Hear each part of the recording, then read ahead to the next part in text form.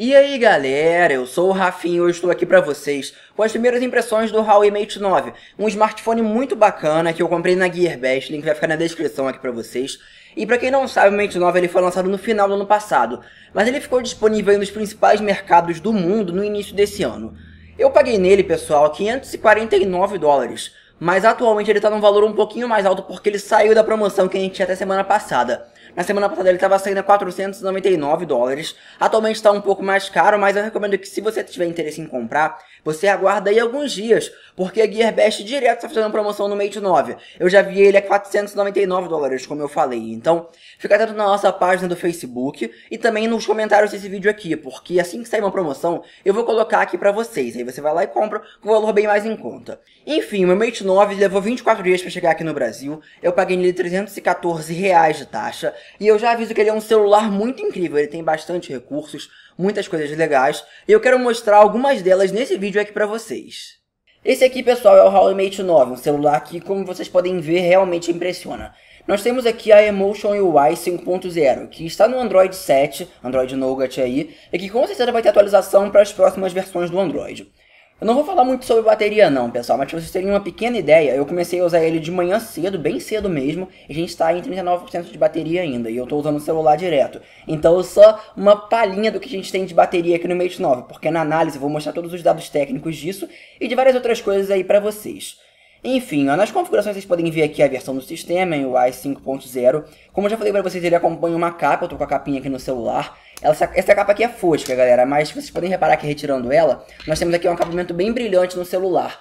E isso aqui é algo muito raro da gente encontrar em celulares com traseira de metal. A maioria dos celulares que tem a traseira brilhante é de cerâmica ou vidro, alguma coisa assim. E isso é um destaque muito bom no smartphone.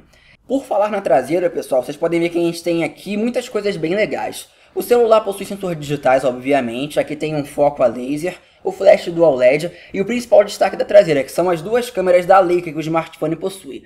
Deixa eu explicar isso daqui rapidinho, pessoal. A Leica, para quem não sabe, é uma das principais, se não a principal, a melhor marca de, é como é que eu posso dizer, de câmeras fotográficas que nós temos. Uma das mais tradicionais, mais antigas que a gente tem no mercado.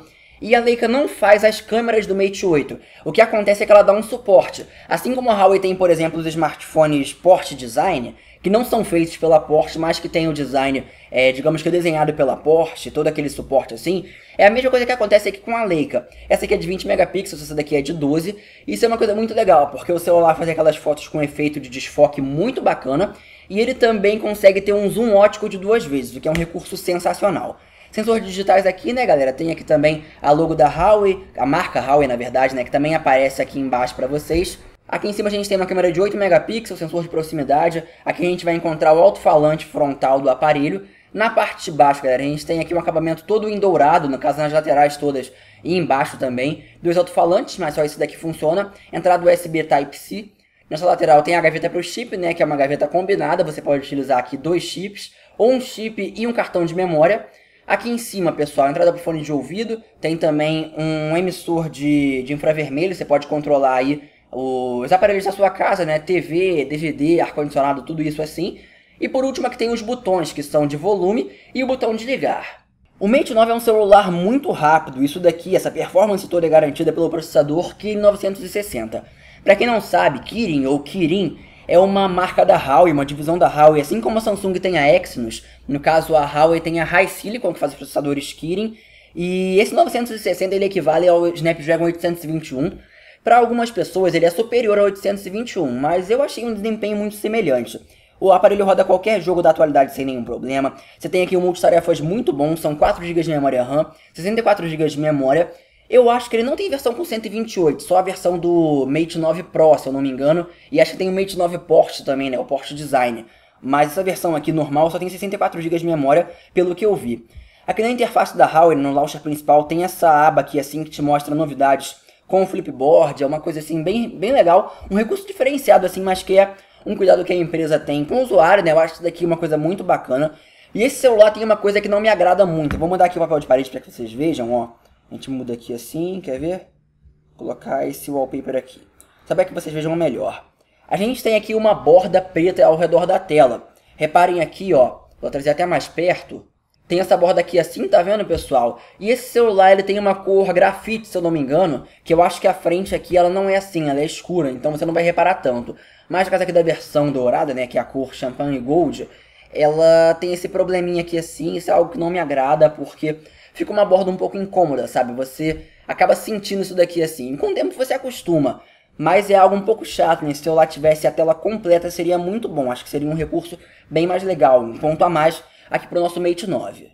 Por último, pessoal, vamos testar um pouquinho aqui da câmera. E para fazer o teste, eu vou colocar uma outra câmera aqui, ironicamente. A gente vai colocar aqui a Xiaomi Media, né, que para quem não sabe, é uma câmera 360 da Xiaomi. Logo logo eu vou fazer um vídeo aí para vocês dessa câmera. E a gente vai abrir aqui rapidinho, só para que vocês vejam melhor. Pera aí, a gente traz mais perto. Aqui, ó, galera, vamos testar um pouquinho da câmera do nosso Mate 9. A gente vai tirar uma foto aqui. Vou deixar essa foto na descrição aí para vocês, tá?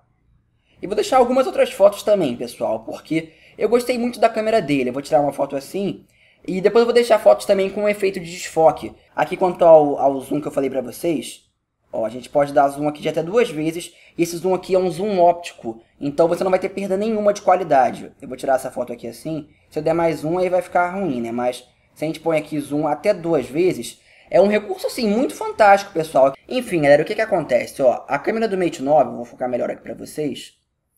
A câmera do Mate 9 tem muita qualidade, a gente faz ótimas fotos aqui. Vou deixar na descrição cada uma dessas fotos para vocês, para vocês terem uma pequena ideia da qualidade. E a câmera frontal dele é uma câmera normal, ó. vamos alternar aqui assim. Quer ver? A gente pode trocar. Aí, galera. É uma câmera normal, eu não vi muita qualidade nela não, mas... Ele... eu não sei porque ele está tirando a foto automaticamente, a gente quer focar primeiro. É, ele está focando e tirando a foto. Mas dá pra mudar isso aqui nas configurações. Enfim, pessoal, eu sei que vocês querem ver mais do Mate 9, mas podem ficar tranquilos porque a análise dele não vai demorar para sair aqui no canal. Eu sei que eu trazei várias análises aí para vocês, só que foi um contratempo bem sério que eu tive. E eu já resolvi isso, então saiu na semana passada a análise do Mi 5S, já gravei a do Honor 8, deve sair essa semana para vocês. Tem vários celulares aí que a gente vai publicando a análise e eu garanto que a análise do Mate 9 sai logo logo. Também aviso aí pra vocês que, pra quem não sabe, eu tenho o Huawei Mate 8. Vou deixar até o vídeo dele aqui no cardzinho em cima. E se vocês quiserem, eu posso gravar um comparativo, mostrando o que, que mudou, o que, que a gente tem de melhor em relação ao Mate 8 e o Mate 9. Bom, galera, eu vou ficando por aqui. Deixa o seu like se você gostou do vídeo. Valeu!